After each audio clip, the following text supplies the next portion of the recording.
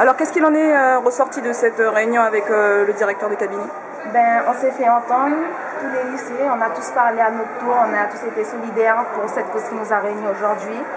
Alors, euh, on est franchement, on, a bien, montré pourquoi on est là aujourd'hui. Le mouvement, la cause de cette manifestation qui a réuni tant de personnes dehors, tant de mobilisation.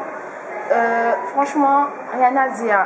Alors, on va faire passer notre demande auprès du ministère. Donc là, le préfet nous le sous-préfet nous a entendu.